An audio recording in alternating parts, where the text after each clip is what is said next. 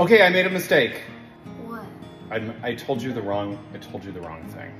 What? Okay, this is a big deal and I want you to pay attention, but in our hermit crab video, by the way, see our hermit crab tank back there? Um, there's a very informative and entertaining video on YouTube right now. But anyway, um, in our hermit crab video, I said that a device that measures humidity is called a humidistat, and that is wrong. It's a hydrometer. I what?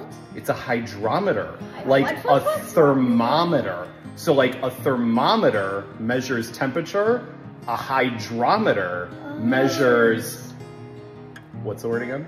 Uh, Humidity. A humidistat controls humidity and a thermostat controls the temperature. It's like a completely different thing. So I just, I wanted to make sure you guys knew the difference. A person on the internet said that I was wrong, which I completely appreciate, so thank you. Um, but I didn't want the internet world to think that a humidistat measured humidity. So I just wanted to, I wanted to clear that up. You guys feel better about it? Yeah. Yeah, I'm, I'm glad. Okay. All right, well, that was it. We can go back to eating pizza and watching a movie. Oh, they really left quick there.